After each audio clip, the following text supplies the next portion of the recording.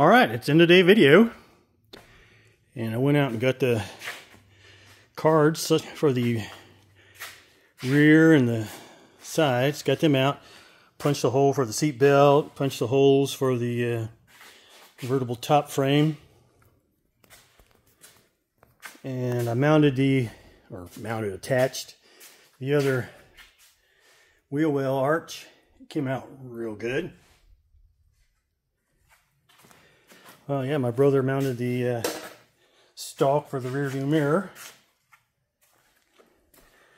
And that's going to start working on the side cards there, but eh, it's kind of end of day. So I'll, I'll save the two side cards and maybe the back card for tomorrow. And that was pretty much it for today.